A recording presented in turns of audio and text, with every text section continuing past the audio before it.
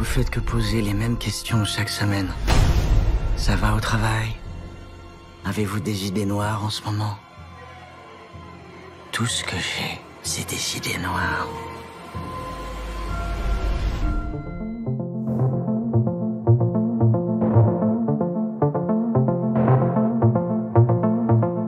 You know, when I went to Todd's office early on in meeting him, he had a, a few graphic novels around some material in Joker, and uh, I almost picked them up, and and he said, you know, you could take those if you want.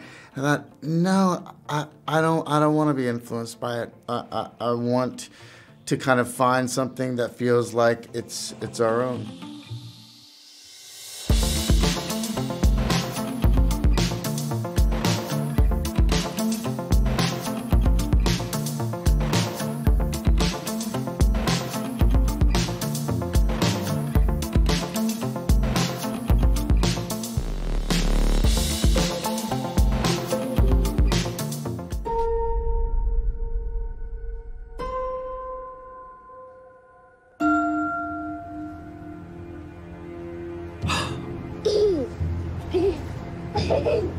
Vous pouvez arrêter d'embêter mon fils Pardon.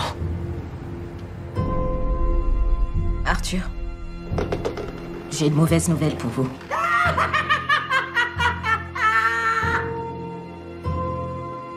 C'est la dernière fois que nous nous voyons. Vous écoutez rien, hein? Vous faites que poser les mêmes questions chaque semaine. Ça va au travail?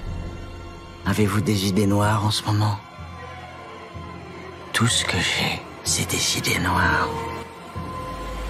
I didn't know a lot about Joker, honestly. Um, I'd seen uh, Tim Burton's Batman when it came out when I was a kid. I saw Dark Knight when it came out. Um, and I read a graphic novel called Arkham Asylum when I was a kid. Um, but that's really all I knew of the character, which I, I think was really good. Um,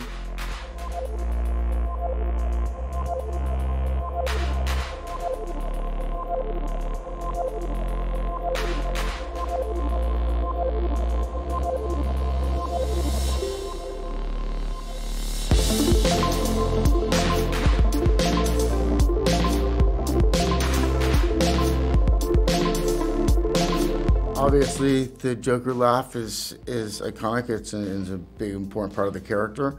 Um, but when the first thing when I met Todd before I even read the script, he showed me videos of people that um, have this condition in which they have uncontrollable fits of laughter.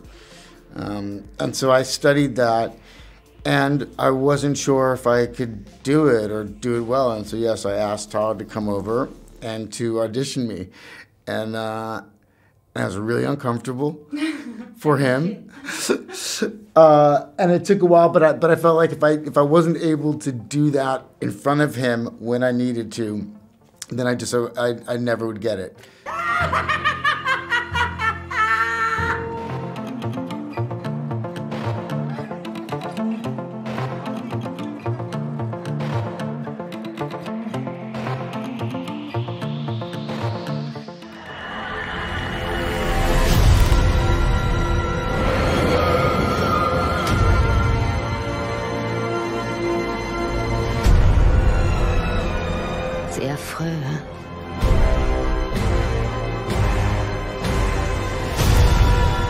passé toute ma vie sans même savoir si j'existais réellement. Eh bien oui, j'existe. Et les gens commencent à s'en rendre compte.